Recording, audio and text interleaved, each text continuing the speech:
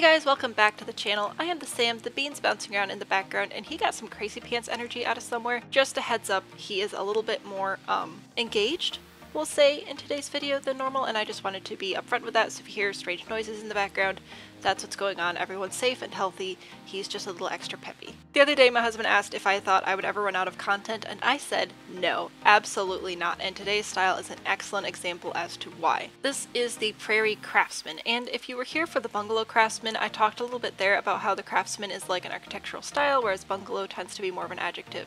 Are there bungalows that are just straight bungalow, and are there prairies that are just straight prairies? Yes. But for the most part, you're going to see these styles sort of marry into other architectural families. Today specifically we're talking about the merging of the prairie style and the craftsman style, but you can also find prairie influenced mid-century homes, prairie influenced ranch, and even prairie Mediterranean, which is kind of like a weird concept in my brain when I think about it, but then if you look at some of the houses, they're they're pretty cool. So I don't think I really run the risk of running out of content when there are so many home styles and so many like home style adjectives that can just all marry, not to mention whole families get married and make house babies. Like we have Victorian and farmhouse and Victorian farmhouse, and we have mid-century and craftsman and mid-century craftsman. So I don't anticipate running out of content anytime soon, and if you guys know anyone who could make me a D20 with like home styles on the side so I could sort of roll and make house family trees of my own, that would be super cool. Let me know in the comments. I understand the dice would be huge, but I don't even care. I just think that sounds awesome. So what actually makes a prairie a prairie? You're going to see a large emphasis on horizontal lines, low walls, flat or very close to flat roofs, a lot of main level decks, local materials, and just just a touch of modernism as these were coming into style. Well, the Prairie originated back in like the 1800s, but the Prairie Craftsman hybrid that we're going to be looking at today was coming into style a bit more closer to when the more modern movement started, but a lot of that really overlaps really, really well with the craftsman style, which also has an emphasis on overall slightly lower shaped builds, lower pitched roofs, open floor plans, um, natural materials, local materials, trying to sort of blend into the local landscape as opposed to the also popular at the time Victorian style, which for the most part was much more look at me, I'm cool and I have bright colors, right? So that's why these two styles really married so well together and now you see prairie craftsmen all across the US, although it is mostly in the more Midwest and Plains states. Plains states, not Plains state, well, anyway. Now in general, prairies are about one story, craftsmen are about two, so when you bring the two together you're going to end up with a one to two story. Very rarely will you get away with anything much larger than that because again the prairie is focused on more of a low stature home. So today we are building a two story. Um, it looks pretty small from this angle, but it's actually a whole five bedrooms and three bathrooms, which is pretty great, plus a very open kitchen, living and dining space that has more than enough room for all of those sims. So fire up your games and let's get started. I'm starting on a 20 by 30 in Newcrest today. As far as best world for this build, anything that resembles the American Midwest or Plains would be great. As far as I know, there aren't actually any worlds like that, um, but if there are any, I don't own them. Also, you'll see that I have 68,000 down here. That's just because technically someone lives here because I used this for a different build before. It has nothing to do with the budget for the build today or anything. We're going to start off with a 7 by 7 square right over here. This is going to be our entry kitchen and dining area except we'll add a little 4x1 bump out right here and you can hold control to remove walls. Starting two out, we're going to go over five and up six, add a bathroom here and here. This will be the main bedroom and main bath and this will be the downstairs sort of guest bathroom. Starting here, we're going to go down seven and over five, this will end up being our living room. If you're going for a craftsman or a prairie style, both tend to have fairly open floor plans and we're going to open this up with a craftsman style arch later, like we did in the craftsman bungalow video, which if you haven't watched already, I highly recommend checking out. Up front here, we're just going to do fairly small but relatively deep front deck, and we can add a deck off the back as well. With the shape I decided to go with, wrapping around isn't as practical, but it's definitely an option if you want to do that. Also decks can be covered or not. And as far as foundations go, it's going to be somewhere between on the ground and about three, maybe four um, levels up. This tends to be quite low to the ground. For this build, once again, I'm going to use base game and seasons because seasons has so much great craftsman stuff. As always, you can get the base style of the home down with the base game just fine, and you can still follow along and do all the other stuff, but if you find yourself really loving the craftsman style, I highly recommend picking up the um, seasons pack. You can probably hear him in the background, little man is just singing pretty much 24-7, so hopefully you can hear me above all of that. Um, upstairs, I'm going to be drawing a lot of this stuff freehand, just because it's going to be easier. So what we're going to do is to sort of use the stairs as a central space. We're going to do a small fat L right here. This is going to be a bathroom. Starting here, we're going to go east 1, south 1, east 3, north 1, east 1, then we're going to go up 4, up 3, down, over, and back to finish up the room. This will be a little bedroom here as well. And then here we're going to continue this wall out and make a 4x4 bedroom with one corner cut out. This will be a 4x3 bedroom with one corner cut out. We're going to finish off this space with a squiggly wall just like that. This could easily be a library space or additional living space. And then I would probably classify this as four bedrooms and a bathroom, uh, but you could always expand this living space into one or two of these bedrooms, um, change one of these into an office or an activity room, Obviously, whatever your Sims need, you can do. But once again, like with a lot of these craftsmen's, very family-centered, and they were built sort of in a, not argument against, necessarily the Victorian style, but they definitely made a statement about the simplicity of living of the standard American family of the middle class. The roof is going to be primarily hipped roofs with a few half hipped roofs and a couple of half gabled roofs to sort of close in some gaps. I'm going to start over on this side and cover this area, which is pretty close to a square. Prairie roofs tend to be flat or nearly flat, and to keep us um, from struggling with roof clipping, I would recommend raising it one or two sort of levels up from the absolute lowest it can go. And then you're going to want to pull your eaves out too.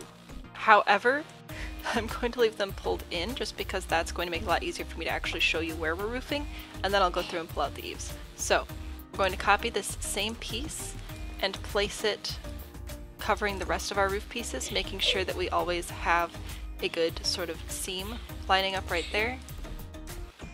And we want to make sure we don't have any of these little valleys, so we'll be extending our roof pieces all the way in. Now that this piece is completely covered, we can go through and pull these eaves out. Because the pitch is all the same, your eaves should line up all the way around your build, and if they don't line up, either your pitch is wrong or you didn't pull the eaves out far enough. Before we roof here, we're actually going to add what has been called in some of the articles I read a floating deck. Um, we're going to grab the very short half wall and actually draw a little deck, just like this. When we roof the front deck here, this porch is going to look as if it is floating, which I guess is a thing that sort of became more popular with the Prairie Craftsman. It's not necessary, uh, but it's cool, so why not, right? I'm going to grab a half-hipped roof, and we're going to start here. Basically what we're going to roof this um, like is going to be a wraparound deck. And I'm going to bring this up one, just so it's sort of matching up with that level right there. If I pull this all the way to the one side, and then grab my half gable, bring this down to one tile, get rid of this top eave by holding shift, and then match the pitch. And of course, make sure that all of my eaves are pulled out too.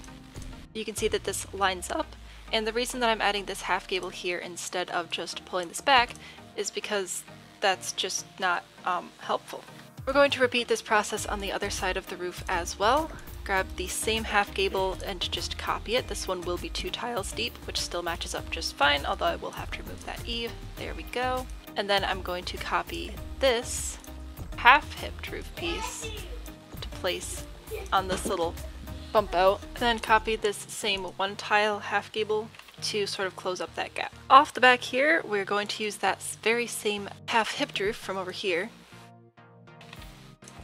And we can either just roof this portion or we can pull that same roof piece out to cover the deck as well. That was a lot of roof pieces very fast, so while I change the shingle color, we'll just recap. Uh, shingles really doesn't matter too much, I'm just probably going to go with these. So on top we have just hipped roofs. We have four of them. From left to right, we have a half hipped piece of roof, a half gable to close up that gap, a half gable here, a half hipped, taking care of the front of the build, and another half gable. I will be going for more of an updated style with mine. If you want to make it feel a little bit more um, old and like more like one of the original constructions, you'd probably want to go with a beveled out roof trim or angled out. I'm going to be using a square roof trim and I'm going to be trimming out everything in black today. One of the reasons I didn't go with black shingles because that would just be too um, dark and heavy on top, I think, for such a sort of low design. Like there's not enough vertical lines breaking stuff up. Typically, I advise you to stay away from these very strong horizontal lines because it's going to make your build feel very segmented. However, if it's a staple of the build style, like with the Prairie, uh, then go for it. As far as siding goes, just like with anything craftsman related or prairie related for that matter, you're going to want to stick with lots of natural tones and looking um, materials. Siding is great, stone, brick is also an excellent option. Just stay away from a lot of horizontal lines like this, and if you choose to use a long brick, you're going to want to go with something horizontal. Um, same with siding, probably wouldn't use this one, although that may be acceptable in other craftsmen's. Again, the strong sort of horizontal lines is part of the main sort of personality of the prairie style. I'm just going to go with some gray siding, I think. Although if you wanted to give your build a little more interest, this would be a great opportunity to sort of mix and match some tones. I'll be using the black stone later on, so I could use this to actually accent some of the other parts of my build, such as this little bump out right here, this area right here. I don't recommend doing anything that would result in a corner like this, where you have one texture and then another, unless you're going to put a column there, which, lo and behold, is actually my plan. And I think I'll put some stone back here as well. Adding textures like this can almost create false vertical lines, which is just going to help break up the path of the eye and provide a little bit more architectural interest. And now let's talk columns and windows. As previously mentioned, I'm going to be going with a lot of the seasons stuff today. It matches both the prairie and the craftsman aesthetic very, very well. So first I'm going to sort of frame out my deck, and then I'm also going to add a column here and here. I don't want this whole space to just be open, I'd rather have more columns. And this sort of helps um, add a little bit of visual symmetry and frame out the doorway as well as some windows that we'll add uh, over here. We're going with the craftsman railing, although anything that has sort of that same frame-like feel, um, possibly just some simple railing like this, or this one would work well, and some stairs. And you can see how this column over here sort of adds a um, divider between the stone and the siding, uh, which makes it look like a much more finished and intentional corner. On the first floor, we're going to add a nice big front door with some lovely windows. I'll be sticking with my craftsman door, of course, here. And off the back, I think I will grab a sliding door. Clusters of windows, like this uh, one window that appears to be three, are not uncommon, and you'll often see clusters of windows spaced out every few tiles. Well, feet in the real world, uh, but tiles for Sims World. And then we can add bigger windows in our living spaces. I'll add this big window here where I want my dining room, but I'll add a smaller window in the kitchen area because counters. If you want your windows to place more exactly, go ahead and hit F5. That's going to turn on or off quarter tile placement. And then same sort of idea goes for upstairs. I'm going to add a little glass door here to get out onto this balcony, and then grab the same windows I was using downstairs to place in some of the bedrooms upstairs. Symmetry is not terribly important, but it's also not a terrible idea. This is a bathroom and it's right next to a porch, so for privacy reasons, we're going to add a small window there. That should about do that, and by now it should be looking pretty familiar. If you live anywhere in the Midwest or in the prairie states, you'll probably see a lot of homes in styles very similar to this in your suburbs um, and even out in the more rural areas. Inside, I'm going to be using this craftsman door, but anything that has some paneling on it. You see this one sort of has two large uh, vertical panels and one smaller one at the top, which is pretty well mimicked in this door, or even this one, will work just fine. And I'm going to match the wood tones. I decided to add these little cutouts here so that I could have sort of a very small hallway and leave this wall open for a desk or bookshelves or anything else we may want to put upstairs. Bedroom here and bedroom here. If you wanted to open up any of these spaces, then I would recommend doing it like this. Add a couple of columns, a spandrel, and then grab half wall, this one, 1.0, and add a little bit of wall right there. You'll see this in a lot of craftsman homes, and if I could, I would actually convert this little area into shelves because that's quite common. So the kitchen and dining room will be completely open, and this really could be as well, but this just adds a little bit more architectural detail and charm. Family bathroom can just open right there, as well as this bedroom, and then that bathroom. That should be all the doors.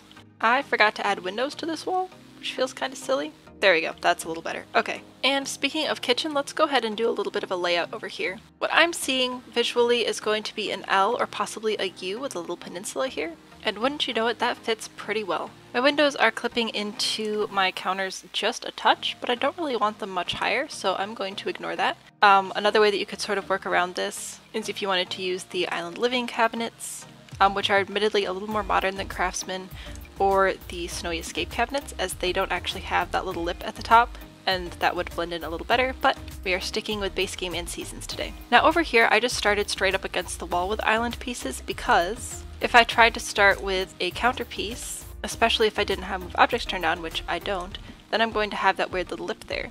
Even if I were to add this island on the next side, we don't get that lip to carry through. So your options are either to turn on move objects and then essentially overlap them like this, the corner sort of has the same thing, so you'd have to add like a half wall or something there. And I just find it a lot easier to put the stove here and then have the island coming directly out of the wall. As long as we're here, let's talk scaling. And when I say let's talk scaling, I just mean how easy is this to make larger or smaller or to maneuver and move around. Craftsmen tend to be built very much off of rectangles. This room is not quite a rectangle, but it's really, really close. And it'd be very easy to just expand this room and voila, you have a larger kitchen and a larger dining room. You could expand or add on extra living spaces fairly easily. Moving these bathrooms around and creating a hall for more living spaces or bathrooms on the first floor would also be quite simple. Because I'm personally building in a little bit more of a modern direction, I'm going to go ahead and make my floors inside quite dark to match the rest of my woodwork. You could use wood for the porch, although it's also common to use stone. And I just realized I forgot to add a foundation, so I'm going to do that now. I'll be using the Seasons one that matches everything else that I've added, but any stone or brick will work just great. Older style craftsmen tend to have more paneling on the walls, although if you want to keep it looking updated, just plain old paint or something with a trim on just the bottom will work just fine. But you're still going to want to stick with more muted and earthy tones. Then again, it is The Sims 4 and you can do whatever the heck you want. I feel like I'm doing this out of order compared to what I usually do. Also, if you can't hear, I am a little distracted with an extra energetic small child. Something else that can be nice to do is actually match your counter um, in your bathroom to your kitchen. If you add the little guy has literally hit his head like 10 times today, just running into stuff, and I don't usually involve him this much in the videos, but he keeps blowing me away, so I feel like you guys deserve to know why my voice keeps changing or I may end up distracted or not quite finish a sentence. Anyway, if you start with like the full tile counter here and then add an end piece, you can end up with a really nice little vanity area and you have some extra space for decorations. Using the counters can also be really helpful for making more sort of like his and hers or expanded vanities. This video is a hot mess, but I simply do not have time to re-record. So you could end up with a really nice, more spacious bathroom, just like this. This bathroom can easily fit a whole bath shower combo if you arrange it like this. And of course there's room for a laundry basket for all you crazy people. Before we finish up with landscaping here, if you haven't already, I highly recommend subscribing. I know today's video's been a little bit all over the place and I am simply going to blame that on a high energy child. And you know what, some days are just like that. And that's why my channel name is Sahm and Bean, because I am the SAHM, he is the Bean, and there's really no separating us in any stream of reality. Not all the videos are like this though, so if this isn't your speed. I have tons of videos where he's much more toned down, um, in fact, usually when I record he's much more toned down. And if there are any styles that you in particular would like to see broken down and addressed like this, you can let me know in the comments below. If it's not already on my schedule, I'll make sure I get it on there, or I will cover it in January, um, which is when I'm hoping to continue this series after a break for the holidays. If you remember from our previous Craftsman video, landscaping tends to be fairly simple, organic, um, and uses a lot of the local plants. Shrubs up close to the house is great, and if these are just a little bit too big for you, you can scale them down by using the bracket keys. I highly recommend landscaping with move objects on if you can. Hit Ctrl Shift C, type in bb.move ob objects, and you should get that little confirmation code that move objects cheat is on. Most of the landscaping is sort of going to be tied directly to the house with a little bit lining a path. The rest of the yard will be open for lawn or family activities. If you're going to use terrain paint for a path, I highly recommend painting it out in dirt first, and then going through and adding your pavers. what this is going to do is sort of create a nice soft edge on your paths, blending it directly into the terrain, as opposed to just having stones sitting on top of grass. Also, if you have a particular shape of landscaping that you're hoping to go for, it can be really helpful to paint it in first. Like I know I want some plants lining this side of the path, so I'm just going to paint in dirt where I want my plants. I'll add a little bit of a flower bed up front here as well. Because stones are used in this build, it makes total sense to add some stones to the landscaping as well, and I'm going to use these to sort of act as a little border to the side of my flower bed. I'm going to place a couple of more decorative boulders as well, although this landscape is not huge, so it's not going to take too many. As far as plants in the world, what do we have? Looks like these are the dull daisies in the pink swatch, which doesn't match my build very much, but that's okay. And I'm just going to make a nice little row of these down the side here, holding alt to get more exact placement. And this one appears to be the sunrose bush, which is more yellow than orange for what I have, but it's the closest thing I can find. So I'll use a couple of those up front here as well. Because these dull daisies and the sunroses are so close in size, resizing them a little bit can add a bit more variety in height and dimension to your landscaping, so I recommend doing that. I have a little bit of a gap right here and I'm going to add some of this knotgrass grass and fill in some of the rest of the space with these low-lying pale yellow flowers.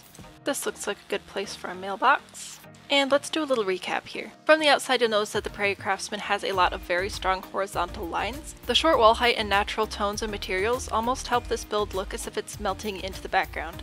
Now, this isn't a great example of that, but again, I don't have a world where I can um, really build this uh, in the environment that was originally created for, so we're just going to pretend.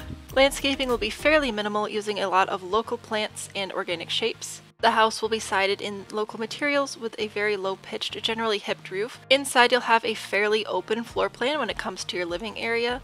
And this sort of floating porch in the roof of the front deck is not necessarily unique to prairie style craftsman homes, but it was definitely popularized by this style. You'll have assorted large decks, covered or uncovered, all around the base of the build, and it's very, very rare for this build to be more than two stories. I believe that is all I have for you guys today. If you haven't already, I recommend checking out some of the other videos in this series. We have already done one craftsman, the bungalow, and we just recently did the Italianate Victorian, which I know what you're thinking. Isn't that like the opposite of craftsman? Not really. Um, it is one of the most simple Victorians out there, and it also tends to have a lot of flat roofs, um, and a very boxy core structure. So I recommend checking that one out if you liked this one but want something a little bit fancier. Bottom card is something that YouTube thinks you'll like and they're usually right so it feels like a pretty safe bet. As always, don't forget to leave your questions, corrections, and suggestions in the comments down below. I had so much fun building with you guys today, and of course the bonus energy from Little Man. And I hope to build with you again tomorrow. Bye!